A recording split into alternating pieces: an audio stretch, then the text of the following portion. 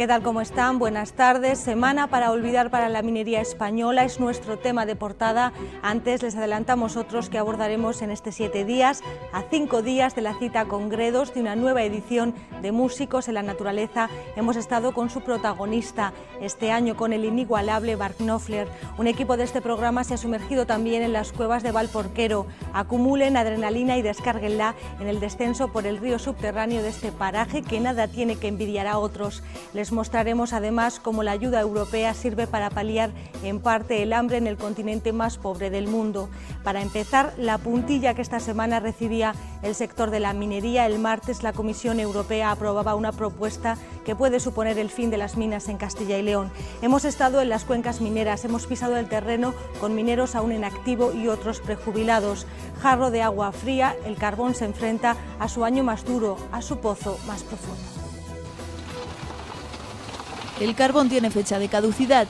15 de octubre de 2014. Ese día Bruselas cerrará el grifo de las ayudas, unas subvenciones que a partir de enero solo recibirán las explotaciones deficitarias que vayan a cerrar.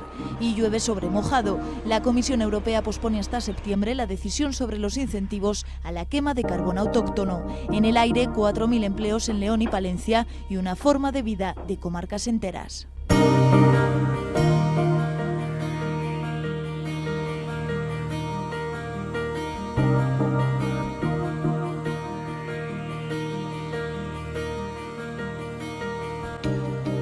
La cuenta atrás ha comenzado. La Comisión Europea pretende acabar en cuatro años con las ayudas que recibe el sector.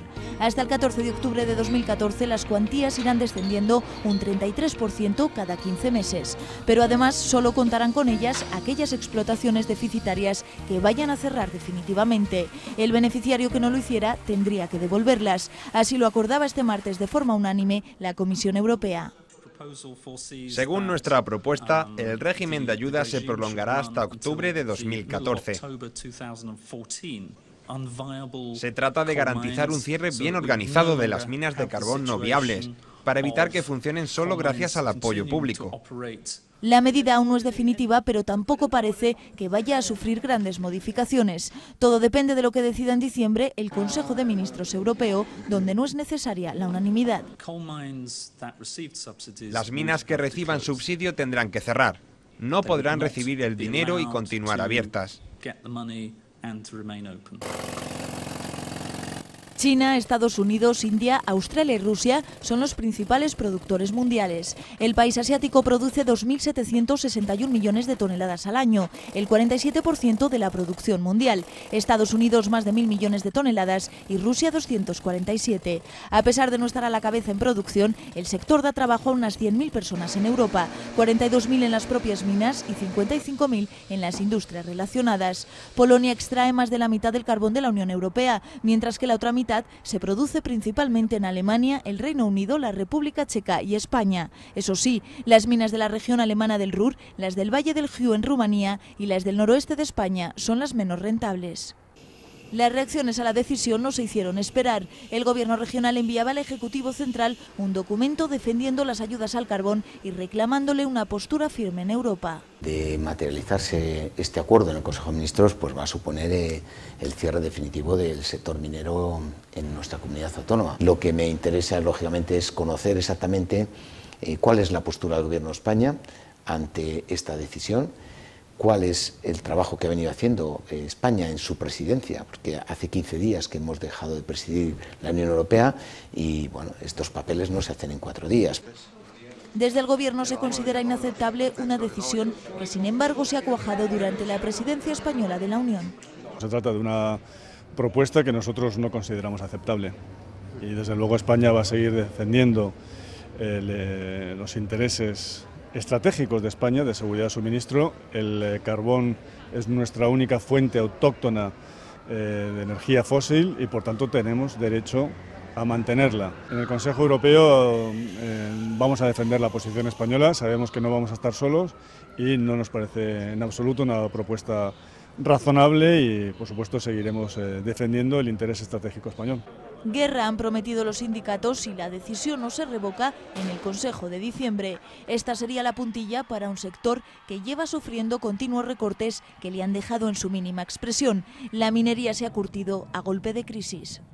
los mineros eh, somos y son gente muy reivindicativa y vamos a ver, está claro que vamos a luchar porque el sector siga adelante. Habrá que barajar pues la, la intención nuestra de los mineros en activo de hacer una movilización en el mes de septiembre, pero una movilización contundente y desde luego de carácter, yo pienso, que indefinido. O sea, aquí ya, ya vale de tanta tomadura de pelo y de tanta promesa incumplida y de tanta historia, o sea, ya no nos queremos nada.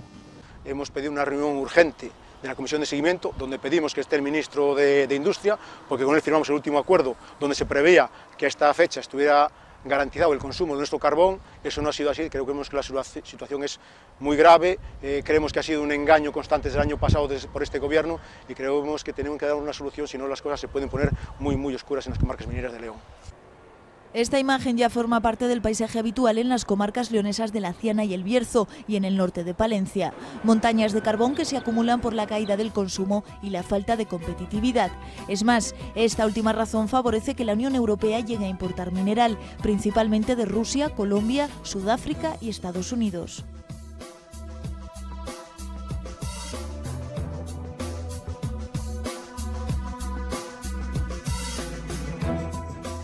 Aún así, todavía más del 40% de la electricidad de Alemania se produce a partir de la combustión del carbón. En Rumanía la proporción se sitúa también en torno al 40%. En España el porcentaje es algo menor, alrededor de un 25%, la mitad con hulla. No obstante, entre el 35% y el 40% de toda la energía que se consume en Europa procede ya de fuentes renovables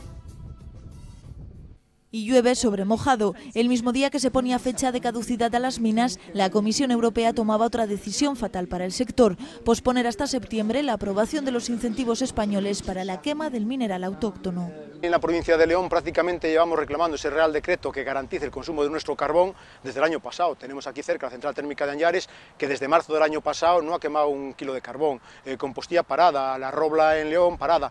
Entonces, ¿eso qué nos da? Nos da que si al final no se consume el carbón, llevamos negociando adelantos de las ayudas a los empresarios, el último antes del verano, donde se nos había prometido por parte de este gobierno que iba a haber un real decreto que incentivara el consumo del carbón nacional entonces yo creo que las empresas también están al límite ya de su capacidad de endeudamiento. Este parece que es el final, aunque es durísimo de, poder aceptar y poder entender, ya que no solo afecta a la minería, sino empresas eléctricas, donde estamos quemando gran cantidad de carbón, aunque llevamos año y medio porque no se ha firmado o aprobado de una vez el Real Decreto que ha presentado el Gobierno, y esto lo que conlleva es que nos dediquemos pues al poco campo que nos queda o, o a sentarnos en un banco y no poder hacer nada más. En la actualidad, el sector del carbón emplea en Castilla y León a 4.000 trabajadores en los tres grandes grupos de explotación existentes en León y Palencia, donde la noticia ha caído como un jarro de agua fría. Solo gracias a las ayudas han podido mantener su empleo, aunque ya en los últimos años han visto cómo pasaban de 6.400 millones de euros en 2003 a menos de la mitad, 2.900 millones en 2008. Los empresarios, las únicas sorpresas que nos han dado en los últimos años ha sido cuando, cuando la situación se pone difícil el anunciar que no pagan las nóminas. O incluso como algún empresario importante de la provincia de León en el día de ayer, en el que se atrevió a decir una tertulia que lo que hay que hacer es coger el dinero y salir corriendo. Esto viene ocurriendo desde hace muchos años, con lo cual, si esas ayudas hubieran estado bien administradas y viendo, porque ellos tienen más previsiones que, que una persona de la calle como puedo ser yo, viendo que esas ayudas se tendrían que acabar tarde o temprano, se podía haber intentado reindustrializar un poco la zona. Una lápida total ya, vamos, la muerte del sector un varapalo que nos hemos llevado terrible. Las cuencas de Castilla y León producen cada año 4 millones de toneladas de carbón, un dato ridículo si echamos la vista hacia atrás. Ya en los años 90 el declive del carbón era una realidad. Entonces las administraciones empezaron a trabajar para reactivar nuestras comarcas mineras. Así nacieron los planes de carbón. En la actualidad en nuestra comunidad está vigente el del periodo 2006-2012 en el que se destinan casi 3.000 millones de euros a proyectos para los municipios de estas cuencas. El suelo industrial, el turismo y el desarrollo medioambiental han sido algunas de las apuestas a las que se agarran estas comarcas, aunque todavía no han madurado. Se ha tratado de, eh, hacer polígonos, que vengan empresas a las zonas mineras, no ha sido así, hay algunos polígonos que funcionan, como por ejemplo el polígono de Benvibre, el polígono de La Robla, pero el resto de polígonos de las cuencas mineras no ha funcionado. No ha funcionado pues, por muchas razones. Yo creo que la primera porque no hay compromisos políticos para traer empresas a esos polígonos, que son necesarias. Entonces, si desaparece la minería hay zonas que van a morir. Se han creado cosas, los polígonos como este de aquí del Bierzo Alto ha crecido muchísimo, y, pero aún así no es suficiente, no es suficiente. Hay, hay que crear más, más, más puestos de trabajo, lógicamente. Esta zona sin minería, por mucho que diga la gente, no subsistiría. Y ojalá que me equivoque, pero el tiempo nos dará la razón. Los empresarios van al, al dinero fácil, ¿entiendes? Y cuando, cuando tienen que invertir mucho y no tienen un, un rendimiento fácil, pues a cerrar la minería. Y si no tienen ayudas, pues más. Entonces las ayudas eran las que iban manteniendo el, el puesto de trabajo. José Manuel, Jaime y Francisco llevan años prejubilados. Sus prematuras retiradas fueron parte de los acuerdos que recogen estos planes. Como minero que he sido durante 22 años y ahora afortunadamente prejubilado, pues estamos echando por tierra la labor que hemos estado realizando durante todos estos años luchando por un sector que es fundamental en esta zona. Según la patronal, que dentro ya no había carbón, entonces había una necesidad de prejubilarnos. Y, y bueno, eh, relativamente jóvenes, claro, pero a algunos eh, nos ha tocado pues una lotería. Llevo dos años prejubilado, es algo que bueno, ha llegado porque había unas reducciones de producción y había unas reducciones de plantilla. La cuenta atrás ha comenzado y cada segundo cuenta para estas gentes que durante años han teñido su sudor de negro, unas comarcas que se niegan a enterrar su medio y forma de vida.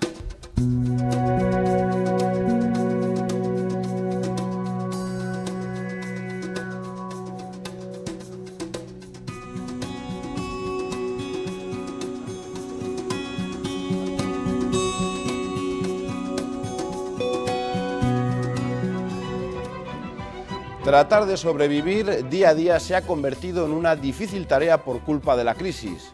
Mal en los países desarrollados y muy mal en los que están en vías de desarrollo.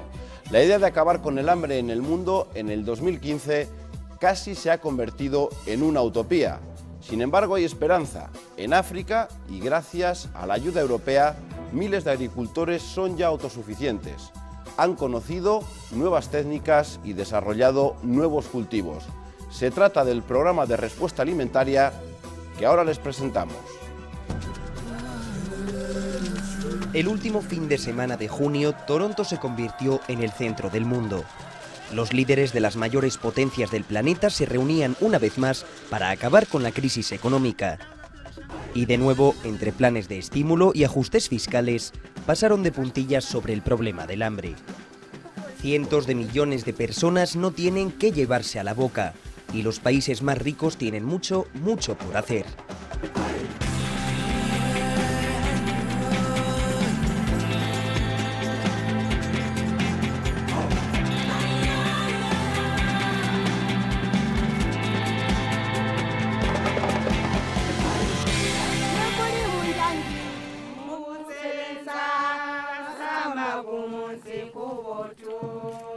Son las 2 de la tarde en Campo en Villa, un pequeño pueblo al sudeste de Zambia.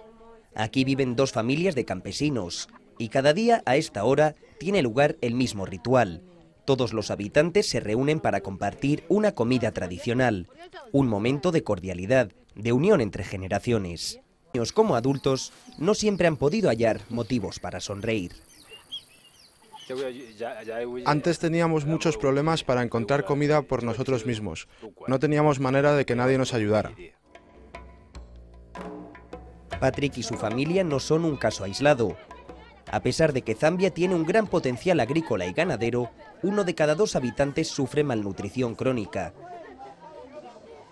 Entre 2007 y 2008, la brusca subida de los precios de las materias primas golpeó con dureza a una población vulnerable.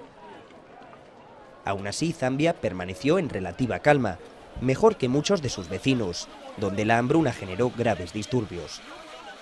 La Unión Europea tomó medidas de forma inmediata. Hoy anuncio la intención de proponer una nueva partida de mil millones de dólares para apoyar la agricultura en los países en desarrollo, con el objetivo de generar una respuesta rápida y fuerte en los suministros agrícolas unos fondos con los que la Unión lanzó el programa de respuesta alimentaria, una acción ultra rápida y de alcance global a la crisis. Un plan de tres años con múltiples proyectos en medio centenar de países alrededor del mundo. Desde Bangladesh a Zambia, de Pakistán a Nicaragua, de Zimbabue a Yemen. El programa de respuesta alimentaria mejora la vida de más de 50 millones de personas, entre ellas muchos pequeños labradores. Los vecinos de campo en Villa se benefician directamente de esta ayuda. Una ayuda que la Unión Europea no distribuye por su cuenta, siempre colabora con las estructuras ya existentes. En este caso van de la mano del Ministerio de Agricultura de Zambia y de la FAO, la Organización de Naciones Unidas para la Agricultura y la Alimentación.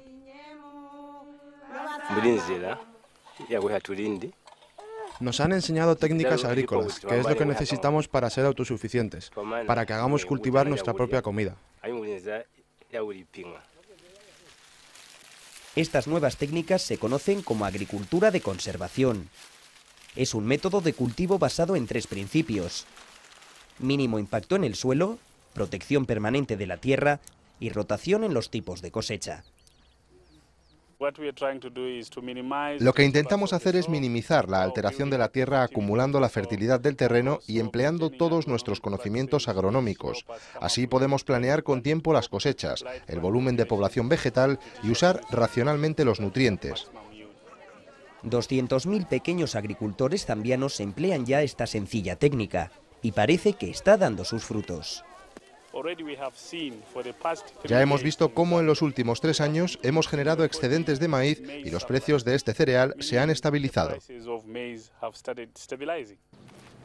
El maíz es la fuente básica de alimentación del país.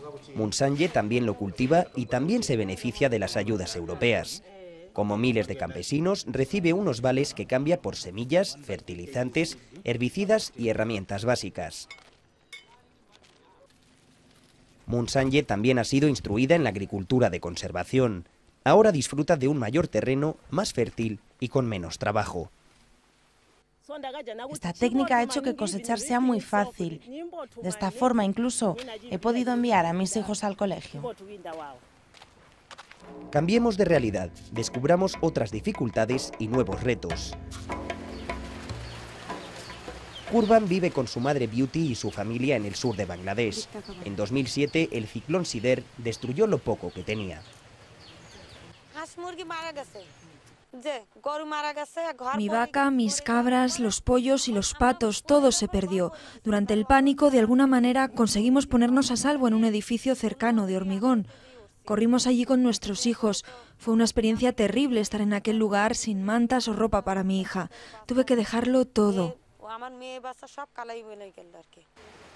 Desde entonces su familia ha estado tratando de sobrevivir, pero su única cosecha anual de arroz, su fuente básica de ingresos, es demasiado pobre. Una situación que se repite para miles de bangladesíes. Cada año el país es golpeado por fuertes inundaciones tras largos periodos de sequía, un patrón meteorológico que tiene serias consecuencias sobre uno de los países más pobres de la Tierra y que además es golpeado por el cambio climático. Las épocas de lluvia están siendo totalmente erráticas. Cuando se supone que tiene que llover, no lo hace, lo que genera graves problemas en el campo. Y además, a causa del cambio climático, el río se ha hecho impredecible, anega con frecuencia muchas regiones. Otro problema creciente es la invasión del mar. El agua salada llega hasta las zonas de cultivo, inutiliza el agua potable y dificulta el crecimiento del arroz. Solución, muros de contención. En el sur del país, cientos de personas ponen diques contra la sal. Toda mi familia nos hemos beneficiado del dique. Nos va a ayudar a salvarnos, a tener mejores cosechas. Con esta obra habrá más trabajo, nos va a cambiar la vida.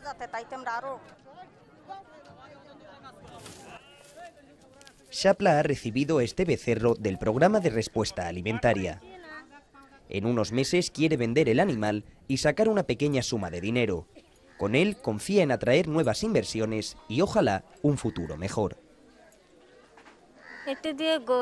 Con este dinero compraré pollos, patos, vacas y cabras y compraré comidas. Hace mucho tiempo que no tengo tres comidas al día.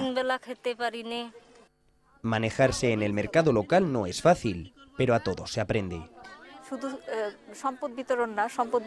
La idea no es solo proporcionar el apoyo económico, sino entrenarles para ser autosuficientes y conscientes de su posición, que se desarrollen a sí mismos mientras van aprendiendo, que utilicen sus recursos con inteligencia y que generen otros nuevos.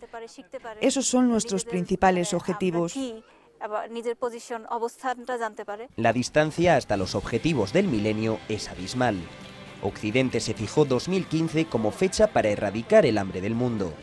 Pero los años pasan y mil millones de personas no tienen nada que llevarse a la boca. La Unión Europea tiene todavía mucho trabajo por hacer.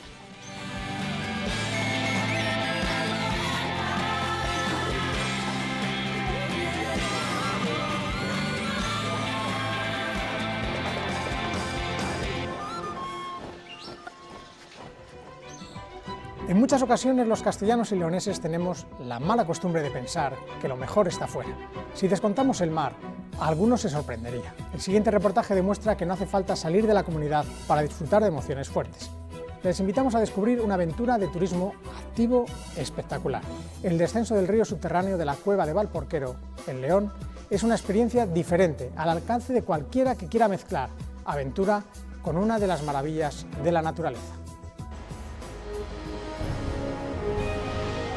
La cueva de Valporquero es una de las joyas geológicas de España. Lo que quizá no sepan es que bajo sus majestuosas alas existe todo un recorrido horadado por el río durante miles de años. Ni Julio Verne, en su viaje al centro de la Tierra, logró describir semejante espectáculo.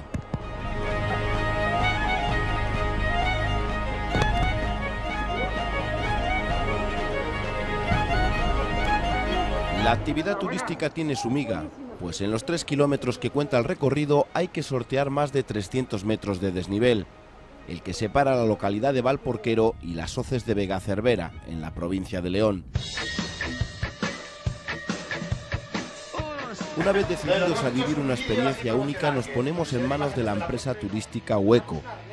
En el cuartel central, ubicado en la capital de la cecina de Chivo, un breve vídeo deja claro lo que nos espera. Bueno, hay una zona de toboganes muy divertida, ¿eh? que te bajas deslizándote por toboganes. Esto tiene una técnica que os explicaremos, cómo hay que colocar los brazos y demás ¿eh? en esos toboganes, pero es una zona muy divertida. Y hay también saltos, ¿eh? saltarnos a hacer el loco, es una progresión en barrancos. los 35 grados ambientales no invitan a calzarnos unos escarpines y un traje completo de neopreno. Más tarde lo comprenderemos. Embuchados como salchichones, tomamos rumbo a las cuevas de Valporquero, las hoces de Vega Cervera, uno de los paraísos de los escaladores, nos reciben. Algunos no sabemos que cuatro horas más tarde apareceremos en este lugar, llamado el Cañón de la Folfoguera.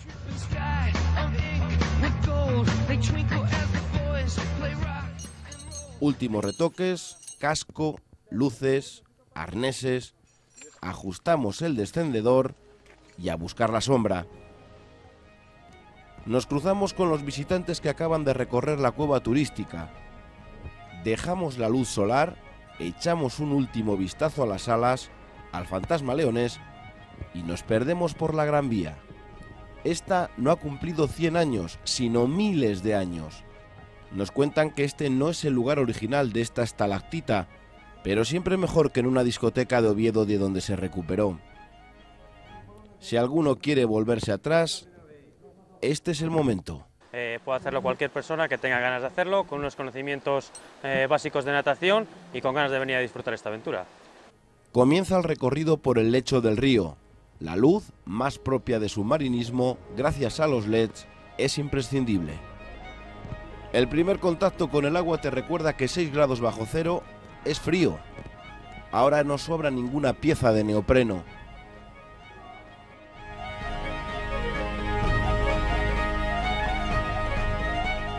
Los caprichos del agua dejan este angosto corredor.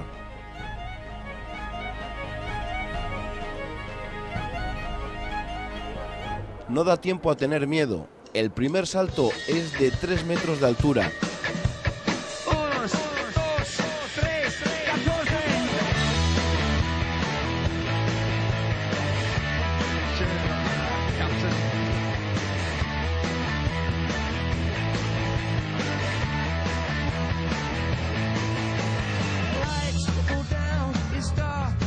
En ocasiones la roca toca con el agua y apenas hay unos centímetros para coger aire.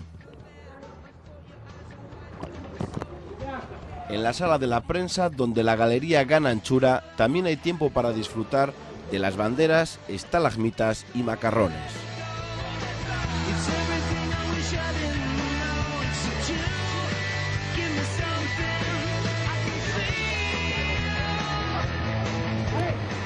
Bueno chicos, esto es muy fácil, ¿vale? Para esto vamos a usar estos aparatitos que tenemos colgados de arnés, uno es un mosquetón y otro es un 8. Los guías controlan en todo momento al grupo y todos nos movemos con seguridad.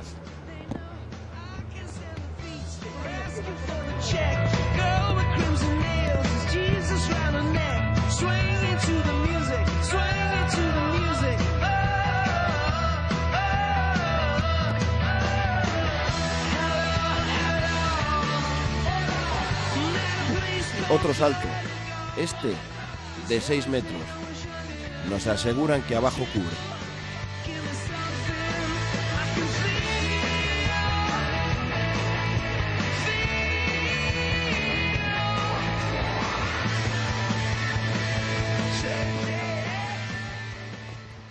El descenso paralelo de una cascada de 17 metros es solo una parte de una sala donde nos aseguran entraría la Catedral de León.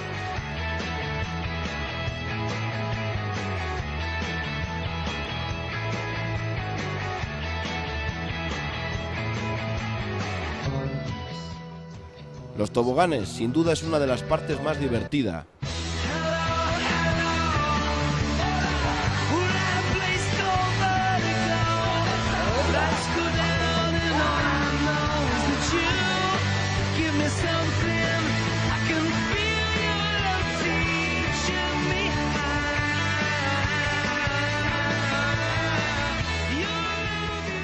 Los últimos rápidos nos llevan hasta la sala de las perlas, antes de afrontar la famosa y temida M.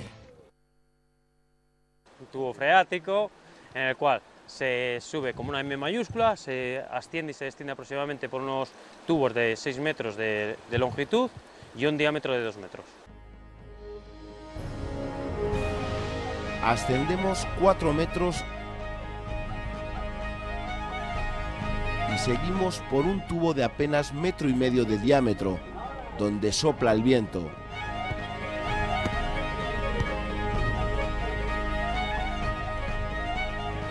Bajamos a un sifón.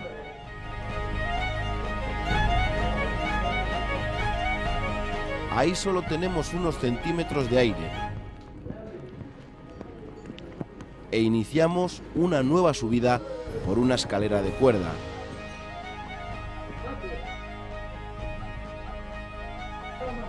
Nos enganchan el arnés y otra vez abajo.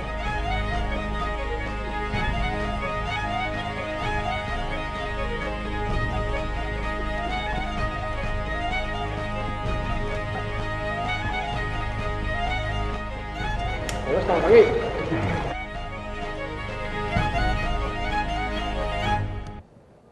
Hemos llegado a la Cobona. Por fin calor, luz solar, plantas, vida. Aunque lo más espectacular está por llegar.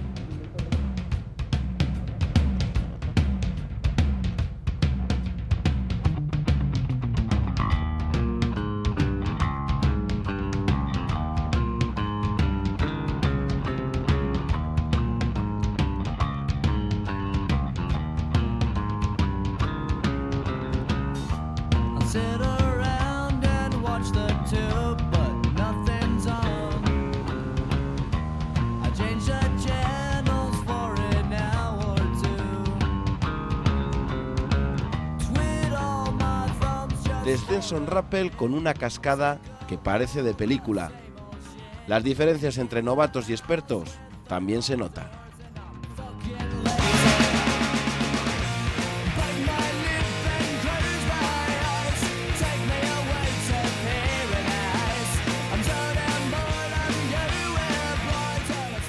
Aún queda otra cascada en el cañón de la Folfoguera, de más de 20 metros. Después de lo pasado, esto parece una auténtica broma.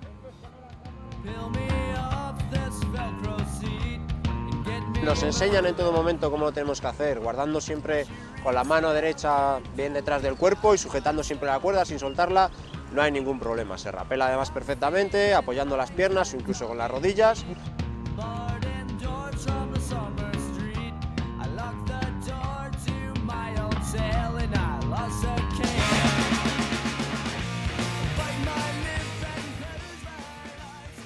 Para remate estos alledos nos regalan un paseo de ensueño hasta alcanzar el río Torío. Todos quieren repetir la experiencia. Eh, da un poquitín de miedo, sobre todo afuera, que es cuando ves realmente lo que tienes bajo tus pies, pero dentro de la cueva bien, bastante bien. ¿Los saltos? Los saltos impresionan, no hay que pensarlo mucho, si lo piensas no lo haces. Sobre todo en el salto. Dios mío, en el de 5 metros ese, no sé. Pero bueno, me he decidido y me he tirado. Más de 2.000 personas al año descienden el río subterráneo de la cueva de Valporquero. Si no ha quedado claro, se lo resumimos en un minuto.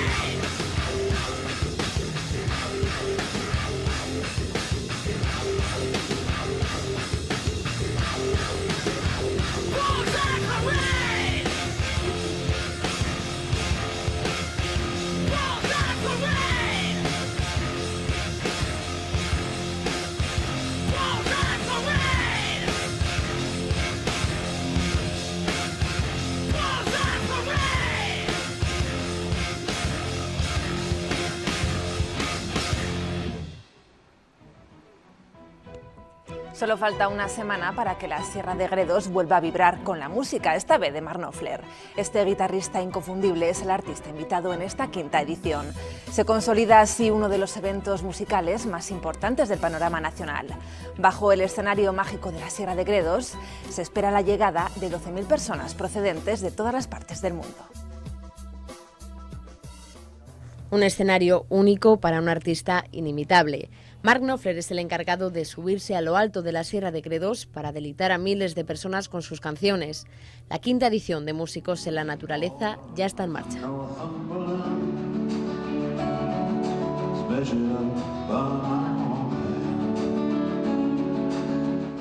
Su estilo inconfundible, su particular sonido y su grandeza en los escenarios harán que el 31 de julio Mark Knopfler sea una estrella más en el cielo de la Sierra de Gredos. Un paisaje inmejorable para recordar y conocer las nuevas canciones de este artista. Get Lucky es su sexto disco en solitario y, según él, un mapa de toda una vida dedicada a la música.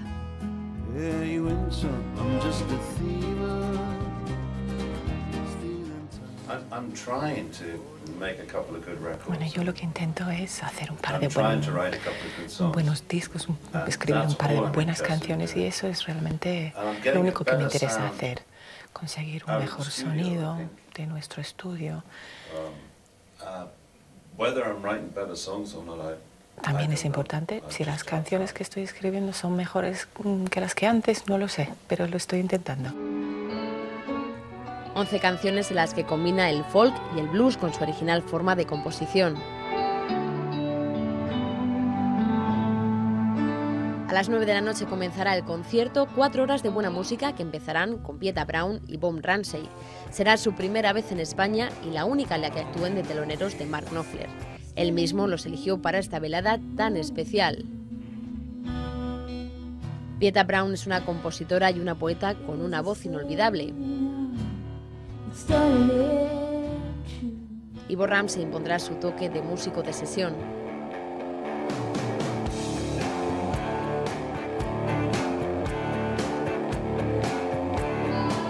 las 10 el escenario de músicos en la naturaleza se llenará con la magia y el magnetismo de este escocés de nacimiento. Con este concierto el excantante de Dave Straits pondrá fin a su tour por España.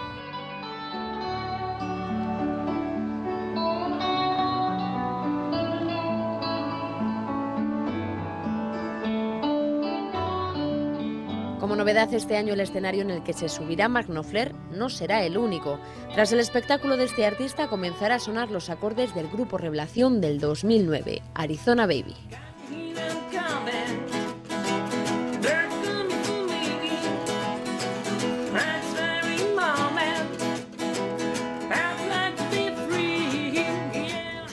La finca de Mesegosillo será la encargada de acoger a este grupo vallisoletano de rock acústico.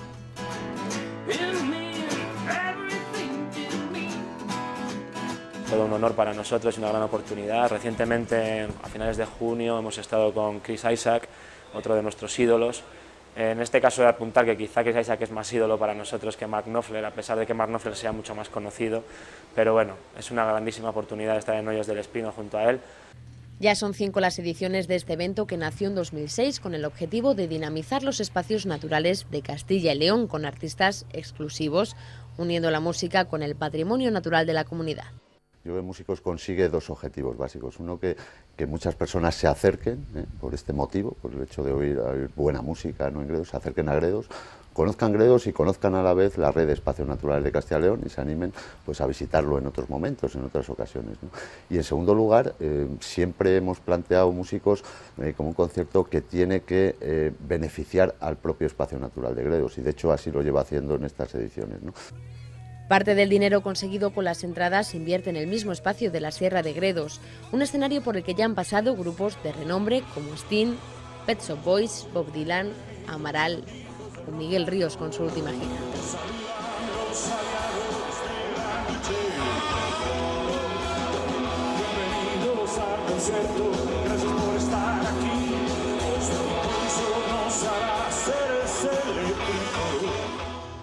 Músicos en la Naturaleza se ha convertido en uno de los festivales de mayor relevancia del panorama musical nacional en los últimos cuatro años.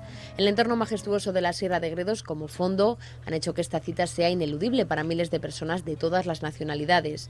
Hasta la fecha ya se han vendido 9.000 entradas y hay un aforo previsto para 12.000.